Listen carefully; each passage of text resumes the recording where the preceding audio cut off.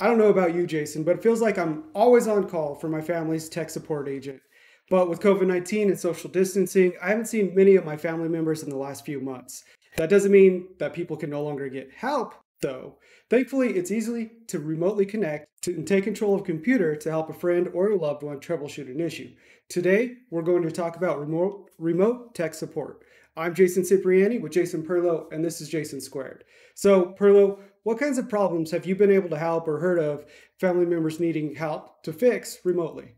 Well, you know, it's funny. You know, my dad recently called me in an absolute panic because he accidentally deleted the entire contents of my mother's desktop, right? So my mother oh, no. is like one of these people who has like, you know, she's got Windows, she's got Windows 10, right? Which with all the, uh-huh. you know, the the the, the Windows it's got that more advanced start menu, but she's still the type that has been doing things the same way since I don't know Windows 3.1 or Windows XP, which is to dump everything she owns, all her icons, all her files on the desktop. Yeah. Right. Yeah. It just looks horrible. Um, it gives me I, the heebie-jeebies. Oh, it gives me tremendous heebie-jeebies, right? uh, and it must give my dad heebie-jeebies because he probably tried to rearrange stuff and then he deleted it or clicked the wrong button and pff, gone, right? so I had a remote in the other night and see what he did and reverse the deletion, right? Um, yeah. Now, but occasionally I've also seen things like you know malware, annoyware stuff like that that has to be removed as well, or, or, diagnosing something wrong with an app that needs to be reinstalled, something like that. You know, it's the very, normally pretty typical things. Yeah, so I, I've had some family members, my mom being one of them, reach out to me during this whole thing, um, and she actually had COVID back in March, and she needed oh, help wow. On working on her MacBook. And I don't remember exactly what the problem was, but obviously, I there going and visiting her was completely out of the question. It just wasn't going to happen. Uh, so I I've used, and we'll get more into apps later, but what I was able to do with her on a Mac was use iMessage's built-in screen sharing option, and I was able oh, to cool remotely without having to walk her through installing some sort of application and go through the process of getting a verification number and all of that i was able to just have her click a couple buttons me click a couple buttons and we are able to connect and i was able to help her out that way and it worked really well. But it can be very frustrating trying to talk to someone over the phone and we're we're learning this with remote learning right now. My kids just started uh, they're on their second week, finishing their second week of remote learning, and having teachers call when there's an issue and try to talk my wife, me, or my one of my kids through getting to a certain aspect of a website or how to submit an assignment is man, it is frustrating as can be. So being able to remotely access a computer and either just see their screen so you know what they're looking at, or take over and control the mouse and keyboard and be able to actually troubleshoot and, go through the steps yourself is a huge benefit. Um, what what kind of applications are you using to help family members? Uh, first of all, I thought that that's very cool that you say that about iMessage. I didn't know that you could do any kind yeah. of built-in screen sharing uh, with it iMessage. awesome. Yeah, that's, that's it, it's awesome. kind of a hidden feature. Like it's it's not very obvious in the Messages app on a Mac that it's even there. You have to click a couple buttons to get there, but those couple of buttons are all you need to do. If you're signed into iMessage on your Mac and your family member or friend or whoever is signed into iMessage, it's an instant connection and you have full control over their computer. It's it's awesome. That's that's awesome. Um, so Microsoft Windows has a very similar feature built in called Quick Assist. Uh, okay. But you do have to have a Windows box on the other side to be able to do it. So if you have a Mac and the other person has a has Windows, you can't use Quick Assist. So the the the app that I tend to use for this type of uh, cross systems connectivity is TeamViewer, um, and okay. I like TeamViewer because um, one, it's free for uh, non-commercial use, right? So if it's just user to user and you're not working doing this for for business purposes for business IT support purposes. It's completely free. You don't have to register or buy it or anything like that. Um, it has file transfer built into it, so if you need to pass data between the two machines in addition to screen share, that's also built in. It also has built-in um, voice over IP, um, and um, you know, so you can talk while you're doing this. You don't have to have a separate yeah, app to sense. do um, the voice to do. You don't have to call on your phone or anything like that while you're doing it. So that's that's really cool. Um, there's also Chrome Remote Desktop right? For those of us who are using the Chrome browser. Um, and I haven't tried it cross-platform, but I have to assume that it works. right? So yeah, it should. Cool there shouldn't one. be any issues. Um, the other one I think is is VNC. A lot of people use for for remote uh, remoting into various servers and stuff. And I, I know it was a heavy duty. It's a it's an open source uh, remote control tool used in, in you know various data center type of, of, of scenarios. Yeah, so I've heard of VNC only because I use that to remote into Raspberry Pis around my house. It's very easy to set up and use. Uh, I've also you heard of TeamViewer, but the only way the, the only, my only interaction with TeamViewer is actually watching. I don't know if if you're familiar with Kitboga. He is a uh, Twitch streamer. He has a YouTube channel. He actually calls scammers, these Microsoft PayPal, IRS oh, yeah. scammers, and he wastes their time. He, he he allows them to to set up TeamViewer on a virtual machine that he has running on his computer, and he will waste as much time as possible so they can't scam someone out of real money. And so that's their preferred app of choice, but they always use older versions that don't have built-in protections. Right. And, and, it's hilarious if if you're not familiar with him. Um, I, I recommend watching it. it. It's kind of addictive to listen to him. He has all these characters he plays, and uh, it, it, it's a good time. But TeamViewer is it, it's not always bad. It, it, can be set up really easily. It requires a verification code after they install the application. It's if scammers can walk people through setting it up on their computer, you could walk a level and set it. Yeah, it's, it it's actually it's actually uh, very easy to use. I mean, yeah. it, it, it, it, it creates a randomly generated uh, password and ID yeah. for each session. So you have to ask the other person what their partner connection code is, but it's usually it takes a, a you know a yeah. second just to do it. Yeah. So it's there's uh, also Zoom. Zoom has built-in screen sharing, so you can actually see what the other person's screen is. You can even take over. You can remotely control some devices. I had I was troubleshooting an issue on a Raspberry Pi a few months ago, and I just could not get it at the command line in terminal what what I was doing. So know, I was talking to a friend on Slack, and he's like, "Actually, just pull up Zoom." And let me take control of your iPad, which is what I was using to access uh, the terminal. And he was able to remotely control my iPad. So this this isn't just limited to computers as well. There are ways to take over phones and help walk people through it. Zoom's solution is limited to the iPad. It, it won't work on phones at all. But uh, I thought that was pretty interesting. I had no idea you could remotely control an iPad through Zoom, uh, which you know the only thing he couldn't do was type. All he had to do was tell me what to type. Uh, there's another third party app called Screens. I've used this for years to remotely access my own Mac and in, even Windows PCs uh, when, from an iPad when I'm out working. And if there's something I just cannot get down on my iPad, I've been able to call back home and have you know different apps open and, and use them through that as well. And uh, it, has been it's been really handy. There is I think it's around thirty bucks or something like that. I don't recall the exact price, but so it's not terribly expensive. But if you're going to be on call all the time helping your friends and family members, it's it's definitely money well invested. Uh, for that. One thing I haven't used though, Jason, that you brought up and I didn't even know existed was Microsoft's Quick Assist, and you said it's built into Windows 10. Yes, it is.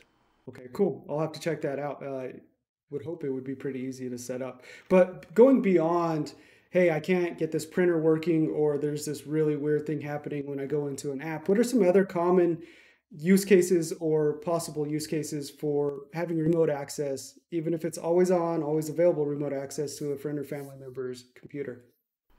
Well, you know, any, anything can kind of happen, you know, uh, depending on the, you know, how advanced the user we're talking about. Um, I mean, I, I haven't seen hardware issues pop up as much anymore, especially when people have laptops and these are much more solid state machines with less moving, almost no moving parts now right? So I, unless you're talking about a, a, more complex, you know, desktop PC, um, I really have not seen um, heavy hardware issues. Typically, what I see is, um, you know, data corruption type things. Um, like I said, malware, malware, sure. or or you know, just uh, people, you know, installing applications, and then you have this crapware where it, which installs extensions and browsers and things like that. Uh, my mother-in-law is does this to herself all the time. She has a Chromebook, right? So you can't really pollute a Chromebook because it's it's just it's an embedded operating system. It's Linux. It's running Chrome as a browser. That's the only thing it can do. But you still can install extensions in Chrome that will do very very annoying things. So right. you may have to go into the extensions um, for your whatever browser, whether it's Edge or it's Chrome, because they're very similar browsers now, and remove extensions from from the system. Um, and it's and it'll it'll some of these things will drive you completely crazy. Some of these things uh, that are built, and they'll take over the entire bar. They'll switch your your search provider to do all sorts of screwy stuff that are that are super annoying. Yeah. So, do you have any other tips on helping a fam- friend or family member? I know they're you know uh, in some instances you're going to have to reinstall the operating system yep. you're going to have to do some more of that advanced work that maybe you're not able to remotely access a computer while it's being done yeah, so like you definitely, I mean, this is kind of like the the catch twenty two scenario, right? So a lot of us have done tech support during Thanksgiving or Christmas yeah. or Easter. You know, we, we, we go over there with our bag of tricks, like Felix the cat. You know, I, I with fifteen USB drives and whatnot, and and we're ready to go with our boot disks and all those kinds of things. But we can't do that now because we, we can't be physically present at the machine. So right. um, you definitely want to make sure that they have uh, one is sufficient cloud storage to do any kind of, of data backup if they need to be able to do that. Um, so like whether they got OneDrive or Google Drive or iCloud, make sure that they've purchased whatever plans that they need to be able to do an in- initial backups of, of their data. If God forbid you have to wipe the box. Right. Um, if you need to purchase USB flash drives and things like that, backup drives, make sure that they get them in advance of your support session, right? Because otherwise, the, the a backup process could take up a while if you have to initiate something like that. Um, you're going to want to download any required updates that they might need in advance uh, because depending on the speed of the connection, it could take a very, very long time. So while the actual connect- connection speed between you and them would is fast, right? Because it doesn't use a ton of bandwidth to do a screen share. They may only have like a 20 megabit connection to the internet. So if you have to download an entire OS reload, you know, it yeah. that could take a lot of time, right? So yeah. um, what I suggest that you do is that is that you you tell them how um, to do a uh, how you to do a, uh, a an, an, OS a USB um, uh, an installation disk, right? So there's a procedure to make a Windows 10 installation uh, USB. Um, you can go to the Microsoft site, um, yeah. and basically you, you, you, put, you put in a fresh USB drive. Um, you download the ISO file, and then there's a little utility that that, that generates um, what's needed on that USB drive to make it bootable. And you have one of those at, at them at all times. It's a fresh version of Windows, ready to go. And if if they have to, you can do an unattended um, install with it and and completely reset the OS. Now, um, not you don't necessarily need to do that all the time. Windows 10 has its own reset utility which will allow you to, to basically set the operating system back to a virgin install um, built into it. So um, generally speaking, that will work 90 odd percent of the time. Sure. But it's good to have a fresh version of the installation media uh, if you need to. Now, on a Mac, it works a little bit different. A Mac, you can do uh, an internet-based install as long as it has connectivity to the internet. But again, bandwidth is a concern. You yeah. might also want to have a copy of the install media uh, for a Macintosh as well. Yeah, and I would even go as far as suggesting if you know that having a family member walk or trying to walk a family member through creating the USB 10 USB boot drive for Windows 10 or whatever else for Mac, because you can create boot drives for Mac as well. They're just a little bit more complicated yeah. to do. Um, make them yourself and just ship them the USB drive. Ship them one. Them. The, yeah, yeah, just yeah, just and, and just do it on your yeah. own instead of having them walk through it. Um, yep. So I, I, guess the biggest question I have for you, Perlow, is did you fix your mom's computer? Yeah, it got them fixed. And actually, Windows 10 has got a great undelete facility. I mean, if you go right into that garbage can, it has a, a, a mass restore undelete function, and then that that fixed it like in minutes. So everything so was just in the recycle bin? Or was it had it already been emptied out of the recycle bin? Um, it was it was in the it was already it was in the recycle bin. It was okay, like, so... there was a, there was literally like like thirty gigs of stuff in the recycle bin. So and I think that's kind of like the prime example of what most family member tech support issues are like. The yeah. the icons disappeared, but yeah. they were just a couple clicks away. It's just getting over that hump of realizing that you can restore items and they don't actually disappear once they go to the recycle bin. And that's a pretty typical experience. The issues I know that I've personally helped family members fix, whether it's on a phone or on a computer, have been very basic but yet confusing to someone who's not very tech savvy. Yeah. So while you're there and you're and you know you're looking at whatever problem needs to be fixed, I mean, there's a, there's a bunch of other things you can do um, to save further you know anguish. Uh, make sure their browsers are all up to date, you know, along with any add-ons you know that they're yeah. using. Um, you want to remove crapware. Um, the, I mean, on Windows, you want to go to the Add Remove Programs menu with the person and say that you're helping, say, and remove anything that they don't use regularly or don't recognize. Um, you know, and again, go through all those browser extensions on Chrome and Edge and see if there's anything there that doesn't look like it should be there. Um, you want to make sure that they're, they're using a virus scanner. Um, if their preloaded third-party virus scanner that came with the machine has expired, you know, whether it's an old version of McAfee and they decide they didn't want to spend the 60 bucks or something to, to update it, and yeah. now that it now it's no longer scanning, change it back to the, the default Windows Defender, you know, and because that still works pretty darn well. Yeah, um, I, I, use and, that and I don't have know, any issues. Those are these are just simple things that you can do to avoid you know further problems. Yeah, those are all hand, handy tips. I use an app called AppZapper on Mac, and what that yep. does is because you can you can drag applications to the the trash can on a Mac, but it only deletes the app. It doesn't bring all the extra files that it's created and databases it has stored on your Mac's uh, hard drive. So I use an app called AppZapper. And what that does is when you drag an application to the trash can, it looks for all the associated files and asks you, hey, do you want to include these files as well? They're linked to this application. So, in a lot of times, the storage space that an application takes is hidden in all of those files. So, it you know, I think it's like five dollars, something like that. I paid for it years ago, and it's paid off tremendously because I, I, use it constantly. Every time I delete an application, it takes a, you know a few extra files with it, which is great to have. But yeah, while you're in a computer fixing a printer issue or some other random bug or or whatever, uh, take a few minutes to tune up their machine. So you know, hopefully, it's some preventative maintenance. I think that's some pretty sage advice, Perlow. Uh, any closing thoughts? Yeah. Um. In addition to you know getting that operating system working in good order, um, you want to make sure you have the installation media or the equivalent registration codes for all the major software and apps that yeah. are installed on the system. Um, older versions of Office, and you see people like with Office 2007 and 2012 or whatever it is, 2016, they all used CD keys, right? Um, yeah. But the newest version of uh, Microsoft Office is Microsoft 365.